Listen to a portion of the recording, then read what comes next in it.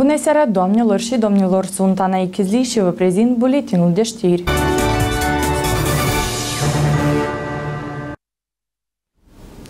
Mișcarea social-politică Uniunea Populară a Găgăuziei Găgăuz Halk Berli, sub conducerea deputatului adunării populare a Găgăuziei Victor Petrov, se va uni cu Partidul Renașterea. Decizia a fost luată în cadrul celui de-al treilea congres al mișcării social-politice Uniunea Populară din Găgăuzia, care a avut loc sâmbătă în satul Chirsova.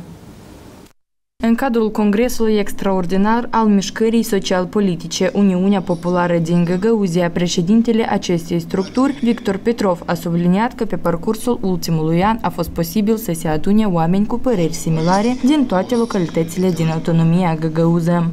Мы открыли представительство практически во всех am deschis reprezentanțe practic în toate localitățile din Găgăuzia. Am reușit să mobilizăm oameni care gândesc la fel ca noi pentru a înțelege cum trebuie să fim mai departe, pentru a elabora o strategie, unde trebuie să mergem și cum trebuie să mergem. Выработать стратегию, куда нам идти, как нам идти, în cadrul Congresului Extraordinar al Mișcării Social-Politice, la propunerea lui Victor Petrov s-a luat decizia unanimă de a adera la Partidul Politic Renașterea. În opinia sa, acest lucru va oferi posibilitatea de a apăra drepturile și puterile autonomiei în Găgăuze la nivel republican. Выходить надо на республиканский уровень. Este necesar să ieșim în evidență la nivel republican și numai venind la putere în Republica Moldova este posibil să apărăm puterile și interesele Găgăuziei. Alexandru Suhadolski, deputat în Parlamentul Republicii Moldova și unul dintre liderii Partidului Renașterea, a subliniat în cadrul Congresului importanța unirii celor două formațiuni politice. Eu și colegii mei am decis să reînviem un proiect politic foarte serios, Renașterea, în care să fie implicați oameni care sunt adevărați patrioți, oameni care cred în viitorul țării noastre, care sunt încrezuți că în Republica Moldova, în Găgăuzia, se poate trăi o viață decentă. În cadrul congresului s-a decis că reprezentanța Partidului Renașterea în raionul Comrad va fi condusă de Valerii Câsa, în raionul Cedărlunga de Ivan Constantinov, iar în raionul Vulcănești de Ruslan Gărbalı. În funcție de șef al reprezentanței a fost numit deputatul adunării populare a Găgăuziei Alexandru Dulger. Noi, alăturându-ne Partidul Renașterea, dobândim un prieten, un prieten în Parlament care ne va ajuta să apărăm interesele Găgăuziei, să ne apere statutul juridic special al Găgăuzierii. La congres au participat aproximativ 600 de locuitori ai Găgăuziei din toate localitățile din regiune. La finalul congresului s-a luat decizia unanimă de aderare a mișcării Găgăuz Halk Birli la Partidul Renașterea. Trebuie remarcat faptul că Partidul Renaștere a fost înființat în 2012, dar a devenit activ nu cu mult timp în urmă. Un membru al partidului, Sergei Mișin, a declarat într-un comentariu pentru GRT că unificarea Partidului Renașterea și a mișcării social-politice, Uniunea Populară a Găgăuziei Găgăuz Halk Berli, va face posibilă reprezentarea intereselor Găgăuziei la nivel republican. Trebuie reamintit că Partidul Renașterea nu este reprezentat în Parlament. Cu toate acestea, foștii socialiști Alexandru Suhadolski și Vasilii Bolea sunt în prezent membri ai Comitetului Executiv al acestei organizații politice.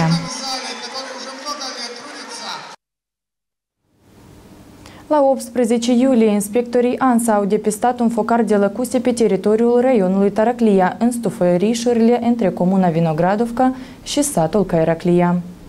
Pe 22 iulie, președintele raionului Taraclia a convocat o ședință a Comisiei de Urgență pentru a lua măsuri pentru a preveni cât mai curând posibil răspândirea lăcustelor la culturile agricole. Комиссия заседала, мы связались с несколькими экономическими агентами, которые занимаются продажей ядохимикатов. Выясняем наиболее эффективный препарат, какой можно применить уточняем, какое количество нам необходимо его приобрести, и будем э, обрабатывать данный участок, чтобы не дать э, дальнейшее предотвратить дальнейшее распространение э, саранчин. Pentru a preveni invazia terenurilor agricole de către lăcuste și răspândirea lor pe teritoriul districtului Taraclia, Departamentul pentru Siguranța Alimentelor a înaintat o petiție de convocare a unei comisii de urgență și de crearea unui grup de lucru care va elimina imediat dăunătorii. Același grup va trebui să monitorizeze situația pentru a preveni răspândirea lăcustelor. Șeful Departamentului pentru Siguranța Alimentelor a menționat măsurile care urmează a fi luate și amenințarea pe care o reprezintă lăcustele. Для того, чтобы предупредить эффект э, распространения саранчи, нужно предпринимать и, э, следующие меры. Обрабатывать локально зоны, э, где инфицированы этими вредителями. Этот вид саранчи может перелететь 200 км в sutки, и все, что встречает на своем пути, все может уничтожить. Primarul satului Cairaclia a declarat că fiecare zi de întârziere poate costa consecințe mult mai grave. El a descris acțiunile întreprinse de autoritățile locale. Мы сейчас с вами находимся вот в эпицентре распространения саранчи на территории примарии села Кайраклия. Она сейчас находится в плавнях, в камыше. И если мы, получается, если мы упускаем какой-то момент, то она может перейти на сельскохозяйственную культуру. Поэтому нам, нам вчера мы собирались с деконцентрированными службами. Сегодня у нас было заседание чрезвычайной комиссии. Примария села Кайракли выделяет 15 тысяч лей на закупку пестицидов для обработки, контурной обработки камыша, потому что камыша здесь 250 гектаров, и получается, что это нет смысла его обрабатывать, то есть полностью его за, ну, полностью, полную обработку проводить. Мы проведем контурную обработку для того, чтобы не дать ему распространиться дальше. Ну, по крайней мере, попытаться это сделать. Asiatică care a fost depistată pe teritoriul raionului Taraclia este una dintre cele mai periculoase specii de lăcuste. Potrivit ANSA, invazia cu lăcuste a fost depistată inițial în raionul Sângerei. Acum a fost depistată în raioanele Telenești, Ceadărlunga, Vulcănești și ANSA, legea obligă producătorii agricoli să trateze câmpurile cu insecticide. În caz contrar, pot fi amendați. Produsele alimentare trebuie să fie mereu proaspete pe rafturile magazinelor. În plus, agenții economici trebuie să respecte o serie de cerințe stipulate în legea cu privire la siguranța alimentelor, spun specialiștii ANSA. Pentru nerespectarea acestora se emit prescripții sau se aplică amenzi. Angajații ANSA verifică activitățile angajaților economici în conformitate cu planul aprobat. Proprietarii magazinelor și unităților de alimentație publică nu sunt avertizați în prealabil despre vizita organului de control. Mai des decât alte puncte de vânzare a amănuntului sunt verificate cele care vând produse perisabile. Producătorii acestor produse alimentare sunt de asemenea supuși unui control amănunțit. Specialiștii ANSA pot face o vizită surpriză dacă există o plângere din partea consumatorilor. Моментально э, организация выезжает на место, устанавливает в чем причина и разбирательство. Se aplică o amendă pentru încălcarea legii cu privire la siguranța alimentelor. Физические лица от э, 25 до 60 условных единиц. Одна условная единица у нас э, равняется 50 леям. А есть юридические должностные лица, там штрафы побольше. În timpul sezonului de fructe și legume trebuie să aveți grijă la cumpărarea zămoșilor și pepinilor verzi. Cumpărătorul are dreptul să ceară de la vânzător un certificat de calitate care să ateste siguranța produsului, spune Andrei Bolgar. По результатам лабораторных исследований принимается решение о том, что пустить данный вид продуктов в реализацию или повременить. Препараты фитосанитарного назначения тоже имеют сроки выжидания, то есть обработали, необходимо подождать согласно инструкции производителя 28-25 дней, и тогда уже реализовывать. Cu atenție ar trebui abordată și achiziționarea de pește. Рыба должна торговаться в бассейне. Должна, когда мы ее покупаем, если мы говорим о живой рыбе, то она должна при нас плавать и должны быть соответствующие условия.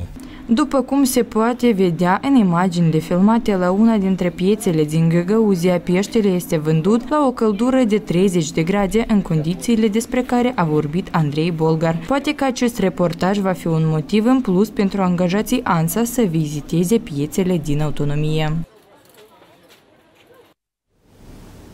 Un curs de antreprenoriat pentru femeile și fetele din Găgăuzia va avea loc între 24 și 28 iulie. Acesta va avea loc în cadrul unui proiect ai cărui organizatori au o experiență de peste 20 de ani în susținerea antreprenoriatului Pe parcursul a 5 zile de curs de antreprenoriat pentru femei și fete din Găgăuzia, participantele vor învăța să dezvolte gândirea antreprenorială, să elaboreze idei de afaceri și planuri de afaceri. Cursul este deschis femeilor refugiate, reprezentanților ognurilor și femeilor din zonele rurale. Curсы предпринимательства э, у нас уже проходили. Cursuri de antreprenoriat au fost deja organizate la noi în Comrat. Specialitatea noastră este că vor fi vorbitori din România. Cred că aceasta este o nouă perspectivă. Se vor putea învăța multe. Dacă femeile au mai participat la astfel de cursuri, va fi în continuare interesant. Уже женщины бывали на таких курсах, все равно будет интересно, все равно будет весело. Instruirea va fi în limba de stat. Vor fi traducători pentru participanții care nu vorbesc limba română. Vorbitorii din România își vor împărtăși cunoștințele în domeniul marketingului. В рамках этого Despre ce va fi vorba la acest curs va fi foarte amplu. Prima jumătate va fi teorie, iar a doua jumătate va fi practică, astfel încât femeile să nu-și facă griji pentru întreaga zi. Vor fi pauze pentru cafea, prânz și cină. În cadrul acestui proiect, femeile vor fi învățate nu doar noțiuni de bază de antreprenoriat, ci și abilități de lider, dar ele vor putea să se realizeze în societate. La finalul cursului, femeile vor putea participa la un concurs și vor putea câștiga 5.000 de euro pentru implementarea planurilor lor de afaceri. În final, vor fi selectate doar patru proiecte. Deci, la sfârșitul cursului mai există o astfel de oportunitate de a găsi afacerea visurilor tale și de a obține finanțare pentru ea. Acest proiect este implementat de Help Moldova în parteneriat cu Asociația Inovatrium din România, cu suportul Organizației Națiunilor Unite a Femeilor și finanțat de Fondul Femeilor pentru Pace și Acțiune Umanitare. Ivan Celac, medic, profesor, muzician și compozitor renumit din Găgăuzia, trăiește și lucrează în Turcia. El vine mereu cu plăcere în țara sa natală și continuă să-i bucure pe locuitorii autonomiei cu succesele sale. În familia compozitorului Ivan Celac nu au fost muzicieni, dar tatăl său și-a dorit întotdeauna ca copiii săi să devină muzicieni, spune Ivan. Armyadan geldikten sonra ayaklarında çizmeler, După armată, încă în cizme și uniforme de soldat, a împrumutat bani și și-a cumpărat acordeon cu speranța și mare dorință ca și copiii săi să devină muzicieni. A făcut tot ce a putut. sevgiyle, o sevinçle çocukları da mızıkant olsun. Çocukları da mızıkant olsun pek isterdi. De hepsini yapardı. Acest acordeon a devenit primul instrument muzical al viitorului compozitor. Ben tüm halkımda e, kendi Îmi amintesc cum la vârsta de patru ani am deschis un acordeon și o carte. Cântând, trăgeam cu ochiul în carte ca și cum ar fi fost vorba de note. Tatăl meu a putut atunci să distingă talentul meu. De atunci, acordeonul a devenit un adevărat prieten și tovarăș de viață al lui Ivan. După absolvirea școlii de muzică din Cedrlunga, a intrat la școala de muzică din Tiraspol și, prin dorința destinului, a ajuns în Turcia, unde a intrat la secția de stat a conservatoriului de la Universitatea din Hojatepe. Acolo Ivan a întâlnit profesori care l-au sprijinit în creativitatea sa. öğretmenim Muammer Sun, besteci, kompozitör. Profesorul meu, un compozitor renumit, a fost și acordeonist în tinerețe. Acest fapt ne-a unit împreună pentru toată viața. Ee, sensele gibi olduk biz onunla. Întreaga viață și activitatea profesională a lui Ivan Celac este legată de muzică, suita găgăuză, romanțe celebre, autodidactică de acordeon, stare de repaus cardiac, anotimpurile iubirii. Nu reprezintă întreaga listă a lucrărilor sale. Cu toate acestea, Ivan nu se oprește la ceea ce a realizat. Bizim Gagavuz için, Gagavuz öğrenciler için hem Türk öğrenciler için Pentru băieții din Turcia și Găgăuzia care vor putea comanda va fi un album de pe an în limba turcă și rusă. Această lucrare va fi dedicată surorii mele și elevilor ei. yani eee, bizim öğrenciler almak istediğinde buradan da sipariş etsinler. Oamenii din Găgăuzia pot fi mândri de faptul că Ivan Celac își slăvește poporul din afara patriei cu creativitatea sa. La sfârșitul săptămânii trecute, la Comrat a avut loc etapa a treia a turneului de volei de plajă între echipele feminine din cadrul Ligii de volei din Comrat. Cele mai bune șase echipe de volei s-au adunat în weekend 22 iulie pe o plajă improvizată din Comrat pentru a-și demonstra abilitățile și talentul în acest sport. игры на очень высоком уровне. Если первый тур так э, легко-легко шло, то сегодня уже мы видим серьезный накал. Турнир, как видите, проходит на очень хорошем уровне. Лично мне самому это понравилось. Э, Я вижу уже много болельщиков, которые приходят поболеть Participantele la turneu sunt adolescente cu vârstă de până la 15 ani. Aproape toate echipele sunt formate din sportivi de la secția de volei a școlii sportive din Comrat. Я очень рада за свою команду, за свои команды, которые у нас выступают, потому что они очень достойно э, играют. Они бегут за каждым мячом, падают. И на песке падать приятнее, чем на поле, на площади в покрытии. Но они все равно бегут и не останавливаются. Echipele au fost formate cu două persoane. Cheia succesului a fost disciplina între membrii echipei, a declarat capitanul echipei Irina Arnaut. Было очень волнительно. Помогли только тренировки. Я очень много занималась, и все получилось. Я очень рада. Это командная игра. Вот э, без команды тут ничего не получится. Надо очень дружная, сплоченная команда, и у нас это получилось, мы оказались сильнее. Necesită multă rezistență și încredere în sine. În urma turneului, câștigătoare a fost echipa Mașina Albastră, care nu a cedat în fața rivalilor săi. Sub soarele arzător, fetele au luptat până la ultimul pentru titlul de învingătoare. Игра прошла нормально. Нам не хватало более уверенности, потому что мы могли сразу взять все игры. Și echipa Carabigir, care nu a avut nicio experiență anterioară de joc pe nisip și a încercat norocul, dar în ciuda acestui fapt le-au lipsit câteva puncte pentru a-și învinge rivalii echipa Leoaicele din Bujac. Было весело, скорее не хватило опыта игры на песке, потому что это мой первый опыт. Именно первая игра, первый опыт на песке. На песке это сложно, это совсем другие правила, совсем другое ощущение.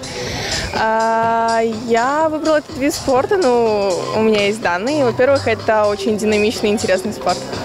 Este pentru prima dată când turneul de volei de plajă are loc la Comrat. Finala campionatului de volei va avea loc pe 30 iulie, unde vor participa câștigătorii tuturor meciurilor. Pentru locurile premiate, echipele vor fi recompensate cu premii în bani. Locul 1 3.000 de lei, locul 2 2.000 de lei, locul 3 1.000 de lei. În continuare, prognoza meteo. În Găgăuzie se așteaptă timpul sinin, umiditatea aerului constituie 60%, presiunea atmosferică 762 mm, vânt din regiunea sud-est cu viteza 3-5 metri pe secundă. Temperatura aerului la Comrat se așteaptă noaptea plus 25 grade, ziua plus 35 grade. Cea de lungă noapte 19 grade, ziua 34 grade. La Vulcanești se așteaptă noaptea plus 20 grade, ziua plus 35 grade Celsius.